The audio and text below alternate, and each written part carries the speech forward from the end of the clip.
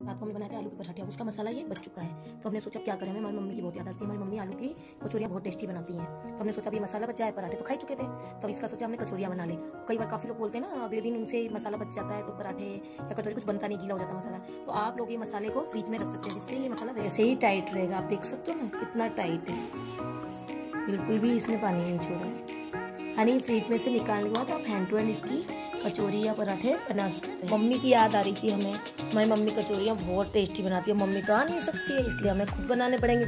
अभी हमने बना लिए छोटे छोटे से लड्डू, देख सकते हो आप?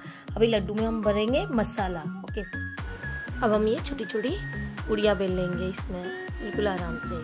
फ्रिज में हम अच्छे से मसाला भरेंगे, इसमें कोई कंजूसाई नहीं करनी है, अच्छे से हमें भरना है, जब ये टेस्टी बनेंगी, बिल्कुल सॉफ्ट सॉफ्ट अब ये हम पोटली बना लेंगे।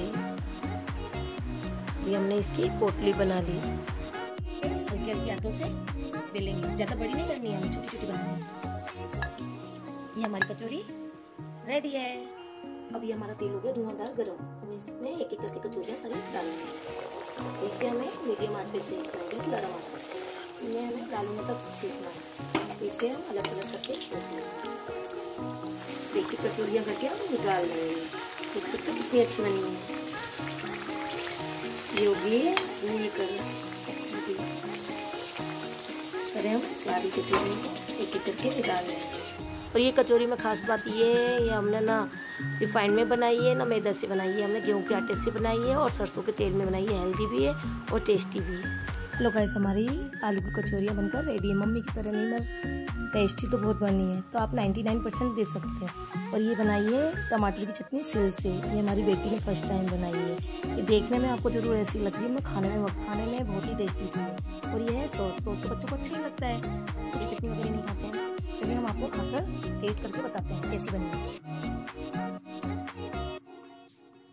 चटनी से